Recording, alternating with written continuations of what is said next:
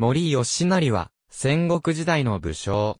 時氏、後に、小田氏の家臣。美濃国金山城主。本姓は源氏。家系は、姓は源氏の一家系、川内源氏の棟梁、鎮守府将軍八幡太郎、吉家の七男、陸奥七郎義高の子孫にあたる。森氏は、義高の三男、若月頼高の次男、森頼貞に始まる。同じ小田氏家中には、同族の毛利広生がいる。かなりの家系は、頼貞の次男、森忠氏の子孫が美濃に住んで、代々と騎士に仕えた。弟に家政、子に、義高、長吉、蘭丸、坊丸、力丸、忠政、娘、娘など。森方眼大頼貞、森次郎忠氏頼氏密使氏清、来春、森左京領来氏頼長、森七郎右衛門城、来次から加工、越後守る家宝、森越後守る家衆、森越後守る家業、森三左衛門かなり、森武蔵守る長吉イコール森左この江中城、忠政しかし、この系譜は仮棒という説もある。大英三年、森加工の子として、尾張国羽栗軍連代に生まれる。美濃国の守護大名である時氏に仕え、斎藤道蔵により時氏が滅ぼされた後の天文23年には、尾張国で、織田信長に仕えた。信長の家督相続と尾張国統一に尽力し、工事元年の信長による、清須城攻めでは、織田信友を討つ功績を挙げた。工事2年4月に、美濃国で政変が起こると、信長の舅にあたる道蔵を援助して、負け戦の中で負傷しながらも撤退に尽力した。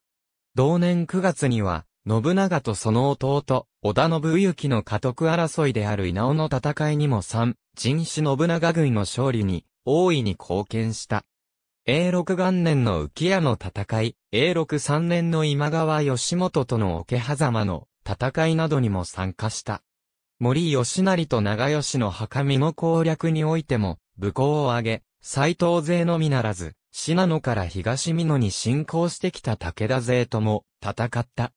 永禄8年には、美濃金山城を与えられ、信長上洛の際には、柴田勝家と共に先鋒を務め、上洛後には、近江宇佐山城を与えられた。元気元年に6月に起こった姉川の戦いにも参戦。勢いに乗って突撃してきた磯野和正隊の進撃を阻止するなど活躍する。同年9月、宇佐山城にあった吉成は、浅井長政、朝倉義景の連合軍出撃の知らせを受けて、進軍を妨害するために、宇佐山城より出撃して、坂本に陣取り街道を封鎖。9月16日に初戦においては、連合軍3万を1000の軍勢で撃退する。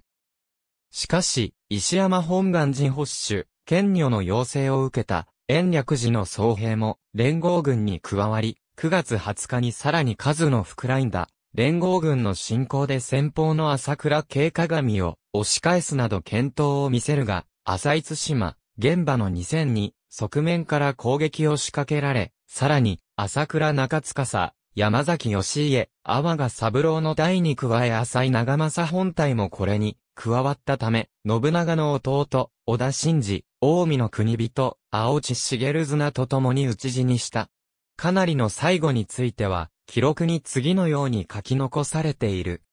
浅井長政、朝倉義景の大軍、短平級に戦うによって、森吉成、織田九郎坊戦火花を散らし、急天窮地の下を通り、終日合戦あり、浅井、朝倉新手を入れ替えて攻め戦うによって、織田九郎、森吉成両将ともしも、坂本瀬戸在家にて討ち死になりとある。去年48。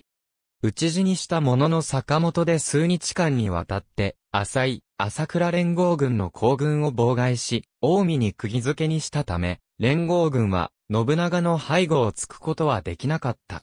宇佐山城も、家臣の鏡岩将、飛田直勝などが奮戦、落城を免れた。後日、二人は信長から賞賛を賜った。森三左衛門かなり肖像墓所。ありがとうございます。